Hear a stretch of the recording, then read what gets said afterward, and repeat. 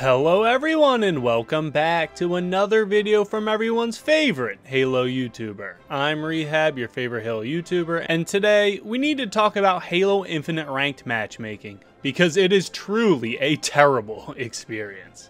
From the game being unable to match players according to their actual skill, to not being rewarded for winning, being punished heavily for losing, having nothing to play for once you're Onyx, there are a myriad of issues plaguing ranked play that are making it just straight up not fun. So today, I want to go over all the issues with Halo Infinite ranked matchmaking and give some suggestions as to how 343 can improve on the overall ranked experience. So to start things off, the biggest issue with ranked is that the game struggles to match people according to their skill. A prime example of this is last night I was searching with two others who were all between 1600 and 1700 Onyx. We matched against three high Onyx players, two 1800s and a 1900, and the fourth that the game gave them was a gold 5. We won the Slayer 50-42, but the gold player was 2 and 12 and completely costed their team the game. This isn't fun for anyone involved.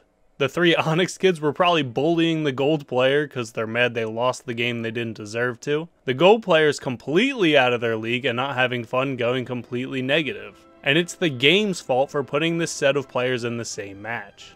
This happens literally all the time, just on a lesser scale. Halo Infinite has the biggest player count Halo has seen in 6 years.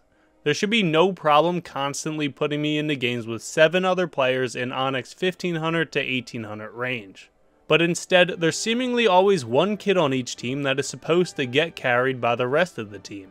I've been on both ends of it as well, where I get put in lobbies of Onyx 2000s and just get absolutely mollywopped.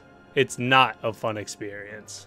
343 really needs to hone in on their skill matching, or at least offer a prefer skill search option that increases search times, but matches you with more similarly skilled players.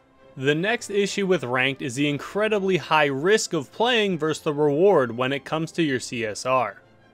I've said countless times how I thought the rank system was too easy as I flew straight into Onyx without any setbacks whatsoever.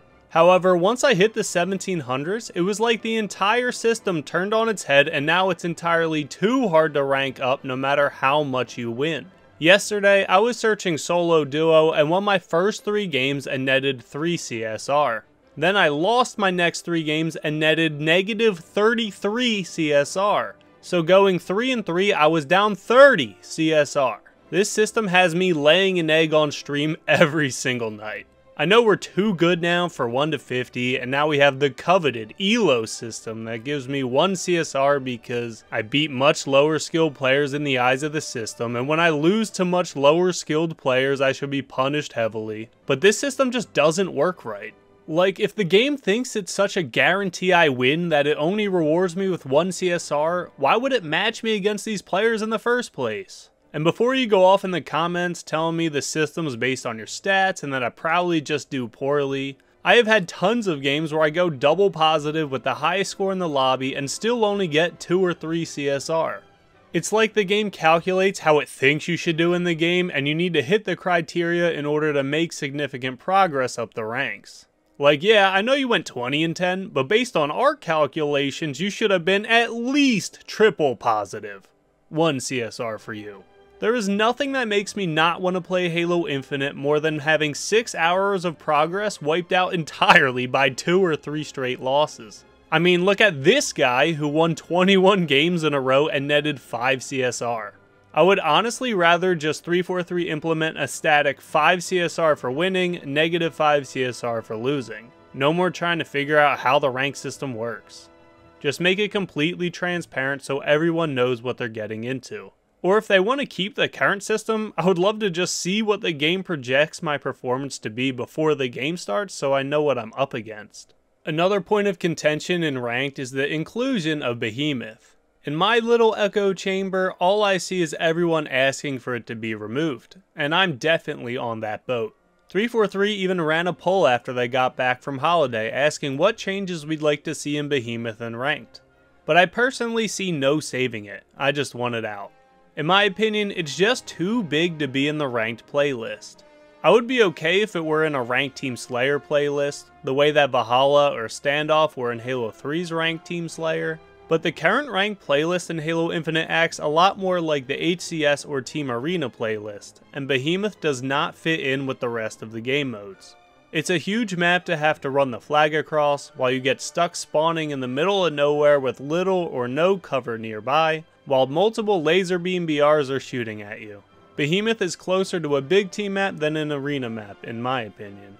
The last thing I want to complain about is something that I don't actually have any suggestions on how to fix. Because 343 just needs to work on their game stability. It's crazy that 8 years after Halo MCC released, I still spawn into 3v4 matches. No, not a match where someone quit out before the match starts. These are matches where the game just didn't give me or the other team a fourth player. If it isn't spawning into a 3v4, it's an AFK on your team until the game boots him, or a teammate quitting, or someone's game crashing on PC leaving you in a 3v4. Luckily, if the game detects someone quitting on your team, you're likely to only lose 1 to 3 CSR, which helps lessen the blow. But at the end of the day, we're here to play Halo. I'm not here for free wins or free losses. I want a fair, competitive 4v4 environment. The fact that this is still as widespread as it is shows that this game really could have used another delay. I hope 343 makes it a priority to fine tune the stability of Halo Infinite on Xbox and PC, but mostly PC. Of the thousand games I've played on Xbox, it's only crashed on me twice so far, which is a pretty good track record. And those are my complaints about Halo Infinite ranked play that makes it a terrible experience. I might have missed some things, but those are the issues that really stick out to me. Let me know if I missed anything that comes to your mind down in the comments. If you enjoyed the video, consider leaving a like as it helps push the video out to a wider audience. And subscribe for more Halo content. I upload every single day, so hit that notification bell so you don't miss out on tomorrow's video. I also stream every day over at twitch.tv slash Rehabz4Quitterz if you want to check me out over there. And as always, thank you all so much for watching, and I hope to see you in the next one. Later.